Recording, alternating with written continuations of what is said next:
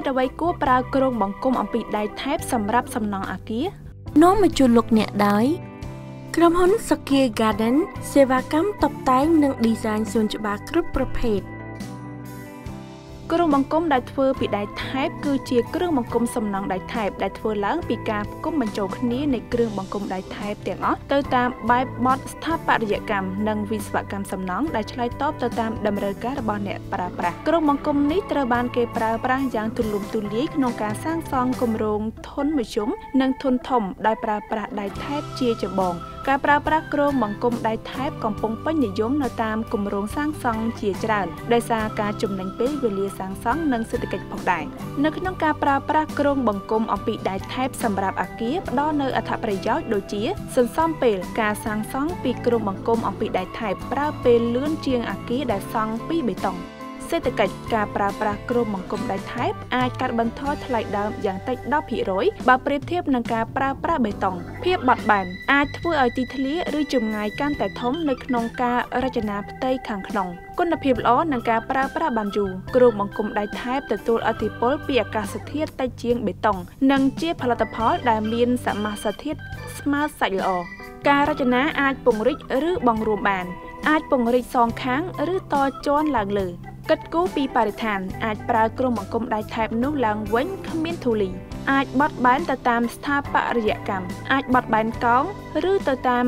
រាងនៃការចេញប្លង់របស់ស្ថាបត្យករសេវាកម្មថែទាំកាន់តែតិចគ្រោងបង្គំដៃថែបផ្ដល់នូវការការពារក្នុងករណីរំជួយដីជាដើម លោកណេតចំណាប់អនុប្រធានសមាគមអ្នកផ្គត់ផ្គង់ដៃកម្ពុជា និងជានាយកគ្រប់គ្រងក្រុមហ៊ុន Kirby Cambodia ដែលនាំចូលផ្ដាច់មុខផលិតផលដៃថែប Mark Kirby ពីប្រទេសគូវ៉ែតបានប្រាប់ KHB Media ដឹងថាការប្រើប្រាស់គ្រោងបង្គំដៃថែប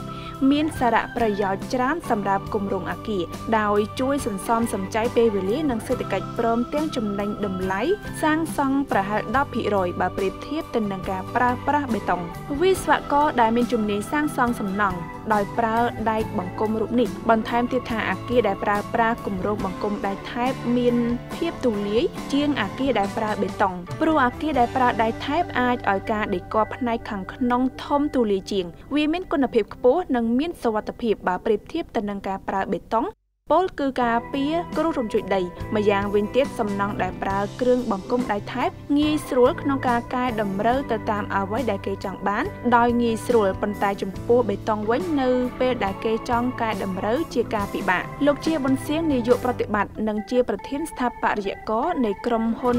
Han Lim ប៊ុនសេង Architect Associate ក៏បានប្រាប់ KHB Media ឲ្យដឹងផងដែរថាការ design ដោយប្រើគ្រោងបង្គំដៃថែបនេះប្រើរយៈពេលលឿនជាងសំណង់បេតុងឧទាហរណ៍នៅពេលដែលគេសាងសង់អគារពី5ទៅ6ជាន់ដោយប្រើបេតុងទាមទារឲ្យប្រើរយៈពេល1ឆ្នាំទើបរួចរាល់ ប៉ុន្តែបើការសាងសង់ដោយប្រើដៃថែបរយៈពេលត្រឹមតែ4ខែអាចសាងសង់រួចរាល់លោកបន្តថាការប្រើគ្រោងបង្គំដៃថែបនេះជួយសន្សំសំចៃពី30%ទៅ40%នៃសំណង់ប៉ុន្តែសំណង់អគារដែលប្រើគ្រោងបង្គំដៃថែបនេះគួរតែមានការ design ឲ្យបានត្រឹមត្រូវជាពិសេសគេត្រូវដាក់ស្រទាប់ការពីអគិភ័យឲ្យបានល្អដើម្បីការពីហានិភ័យកើតឡើង លោកណេតចំណាប់ក៏បានលើកឡើងផងដែរថាបច្ចុប្បន្នវិស័យសំណង់នៅកម្ពុជាកំពុងពេញនិយមប្រើគ្រោងបង្គំដៃថែបសម្រាប់ការសាងសង់អគារដែលអាចជួយសន្សំសំចៃទាំងពេលវេលានិងសេដ្ឋកិច្ចចំពោះសំណង់អគារនៅកម្ពុជាគេនិយមប្រើប្រាស់គ្រោងបង្គំដៃថែបនេះ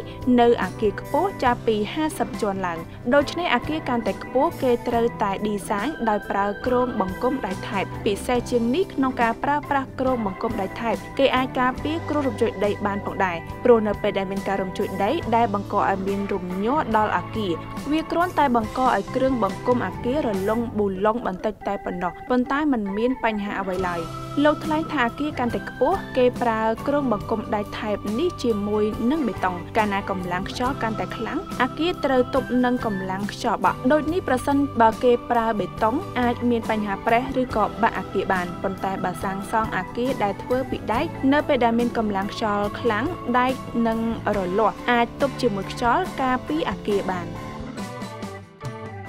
សូមចុច Subscribe បន្តមកចុចលើរូបកណ្ដឹង